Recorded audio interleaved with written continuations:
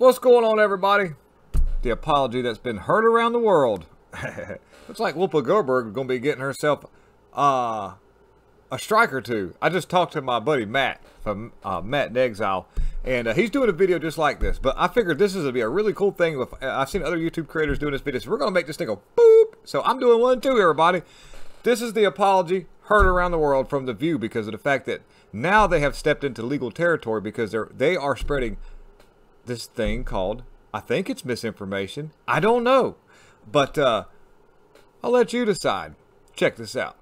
Sorry. So on Monday, we talked about the fact that there were openly neo-Nazi demonstrators outside the Florida Student Action Summit of the Turning Point USA group.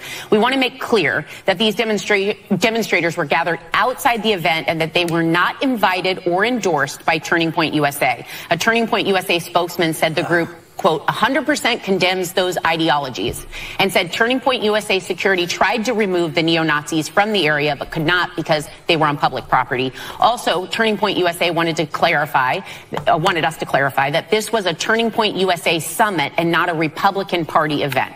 So we apologize for anything we said that may have been unclear on these points. They still invited Matt Gaetz, though, I would just like to know. oh, there with that again.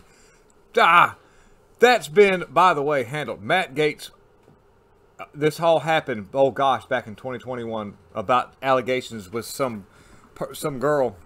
And it's all a big setup. And he's actually been, that's been proven, he got, that was, he was exonerated from that. So, uh, yeah, they just they just can't stop running that mouth. But anyways, they did have to retract what they said about Turning Point USA. And, you know, and, and, and the way America works, the Nazis are allowed to to protest uh, you're supposed to be, that's your right as an American to protest. Even though if we don't agree with your views, you can protest. You have to do it peacefully. And if you gain a majority of people, that then you can, then your protest becomes legitimate and your voice will get heard. But you have to become, you have to, you know, just like in voting, you have to have a majority.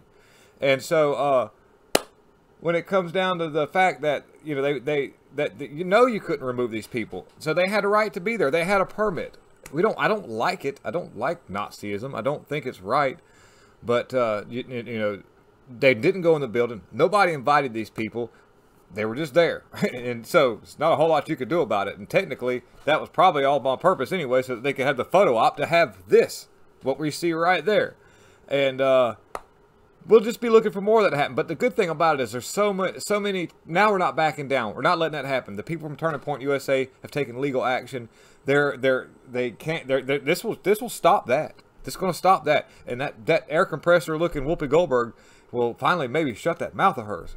Gosh, please. Anyways, thank you for tuning in. Oh, and please, please, please, um, uh, check out my other YouTube channel it's uh, it's it's in the comment section of this of this video. Please check it out. Please give me a sub over there. Don't have to watch the videos, but it will definitely help uh, me stay on top of like just in case this channel gets fizzled out because we're riding by borrowed time out here, guys. Promise you. Conservative channels are. Yep. Anyway, so thank you very much for tuning in. Lots of love. We're out.